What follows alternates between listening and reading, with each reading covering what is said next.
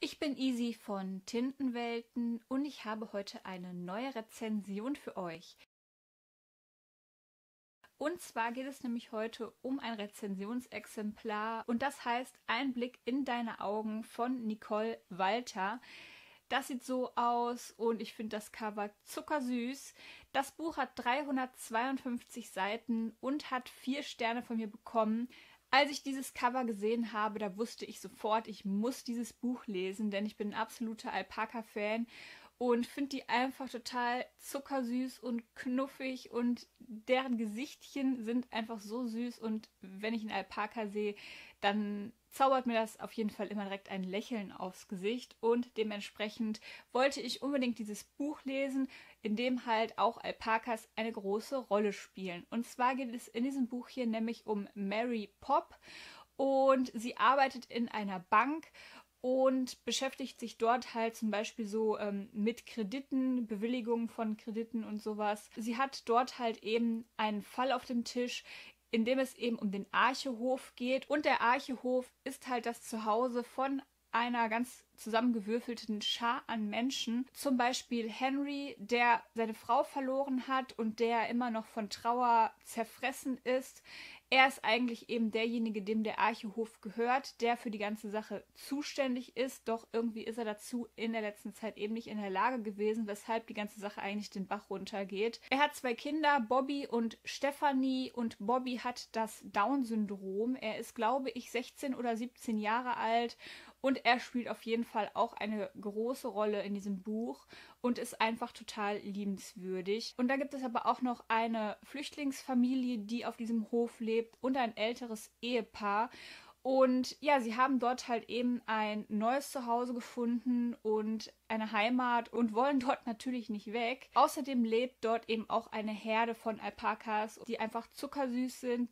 Jeder von denen hat irgendwie so seinen besonderen Charme und seinen eigenen Charakter und ja, das war auf jeden Fall so, wie ich mir das erhofft habe, dass sie halt eben eine große Rolle gespielt haben und immer wieder aufgetreten sind und nicht nur so ähm, nebenher vielleicht auf der Wiese gestanden haben oder so. Also das fand ich schon mal auf jeden Fall sehr, sehr gut. Jedenfalls ist es so, dass es dazu kommt, dass Mary eben zu diesem Hof fährt, um sich eben selbst ein Bild zu machen, weil die Bewohner halt eben nicht akzeptieren wollen, dass sie den Archehof letztendlich verlieren werden. Und ja, sie kommt dorthin und merkt zwar auf der einen Seite, dass sie auf gar keinen Fall irgendwelche Kredite oder irgendwas dort bewilligen kann, dass das eigentlich ein Fass ohne Boden ist und dass es eigentlich verloren ist, aber auf der anderen Seite schließt sie eben den Archehof an sich und seine Bewohner in ihr Herz und so beginnt sie halt, sich Gedanken darüber zu machen, was im Leben halt wirklich wichtig ist und versucht halt eben diesen Hof und die Menschen, die dort leben, zu retten.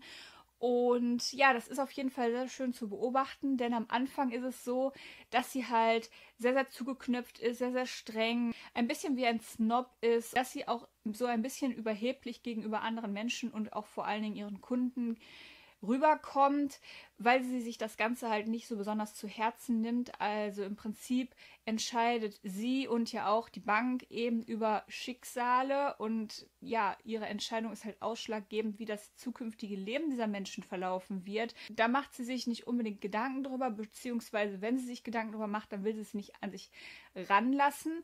Und in diesem Buch beginnt sie halt eben darüber nachzudenken, was das alles für Folgen haben könnte. Und immer wenn sie fremde Menschen trifft, dann assoziieren die ihren Namen direkt mit Mary Poppins. Also sie heißt ja Mary Pop.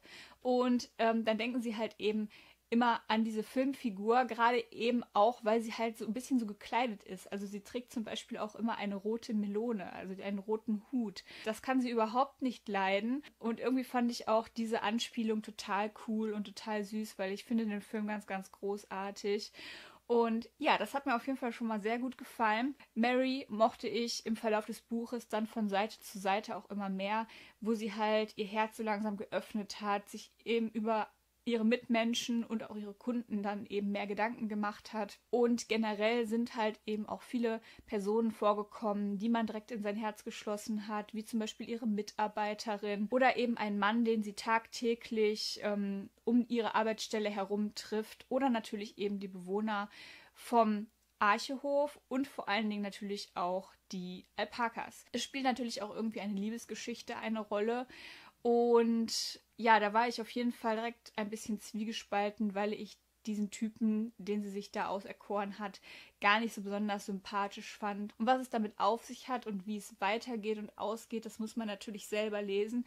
Ich fand das auf jeden Fall irgendwie so ein total schönes Buch für zwischendurch es hat einem halt das ein oder andere Mal wirklich ein Lächeln ins Gesicht gezaubert, gerade halt eben auch im Zusammenhang mit diesen süßen Tierchen, aber eben auch die Charaktere und das Ganze drumherum waren einfach schön. Es war natürlich irgendwie auf dem Land gewesen, umgeben von Wiesen und Feldern und ja, das fand ich halt sehr, sehr schön. Und von den Charakteren her mochte ich natürlich auch besonders Bobby total gerne, weil er eben ein herzensguter Mensch ist, der für alle immer nur das Beste möchte, der einfach immer versucht, alle Menschen zu umarmen und das fand ich sehr, sehr schön. Der Schreibstil war auf jeden Fall auch locker und leicht, war schnell zu lesen. Ich habe das Ganze auch, ich glaube, in ein oder zwei Tagen durchgelesen und dementsprechend hat es mir auf jeden Fall sehr, sehr gut gefallen. Also ich finde, für Alpaka-Fans ist das Ganze natürlich auf jeden Fall ein Lesevergnügen und eben auch für alle, die auf Wohlfühlbücher stehen. In diesem Buch geht es dementsprechend, also neben dem Alpaka-Thema, sage ich mal, eben auch um eine Liebesgeschichte. Es geht um Trauer und Verlust, sein Leben dann weiterzuführen und neue Hoffnung zu schöpfen. Und es geht eben auch darum, was wirklich wichtig im Leben ist, dass nicht immer Geld und Macht unbedingt das oberste Gebot sind, sondern dass es eigentlich eher um Menschlichkeit und Zwischenmenschliches geht und darum halt Freundschaft zu finden und ähm, Beziehungen einzugehen und dann vielleicht dabei auch die Liebe zu finden. Also, mir hat es gut gefallen. Werft mal einen Blick drauf. Was ich übrigens auch noch total süß finde, ist, dass zu jedem Beginn des Kapitels hier oben so ein kleines Alpaka abgebildet ist. Und das finde ich einfach zucker, zucker süß. Ich danke euch fürs Zuschauen und hoffe, dass euch die Rezension gefallen hat. Wenn ihr das Buch schon gelesen habt, dann schreibt mir gerne mal in die Kommentare, wie es euch gefallen hat. Und ansonsten wünsche ich euch noch einen schönen Tag, Abend oder eine gute Nacht. Bis dahin. Tschüss.